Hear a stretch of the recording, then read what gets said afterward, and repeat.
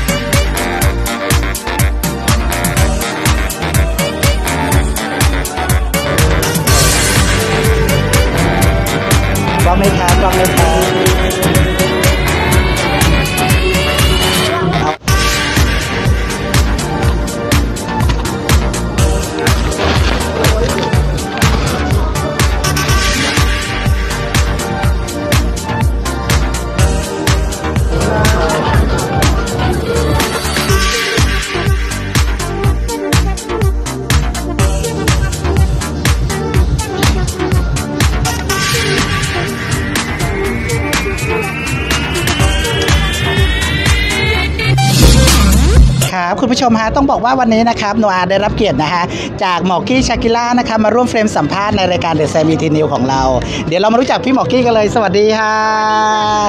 วันนี้ดูเป็นแบบว่าสวยดูเป็นเซสมากวันนี้มาในงาน วันนี้นะคะเราอยู่ในงาน How Award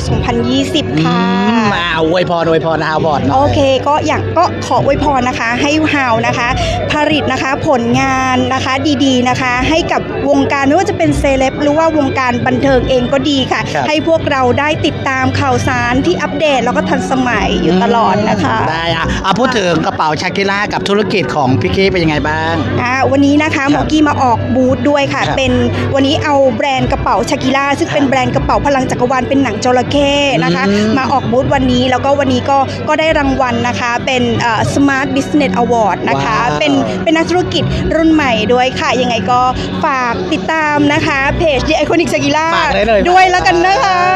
ฝากได้เลยค่ะ ชื่อไอจีเพจอะไรครับ อะ ไอจีนะคะ แล้วก็เพจนะคะของแบรนด์กระเป๋าเรานะคะ ชื่อว่า The Iconic Shakira นะคะ ก็เดอะเลยค่ะ T H E นะคะ แล้วก็ Iconic แล้วก็ Shakira ค่ะ กระเป๋าพลังจักรวาลก็ได้ค่ะ เอออะพูดถึงประเทศไทยก็มีการเปิดให้ท่องเที่ยวแล้ว อยากเรียนเชิญคนไทยออกมาท่องเที่ยวกัน ใช่ค่ะ ก็เมื่อกี้นะคะ ก็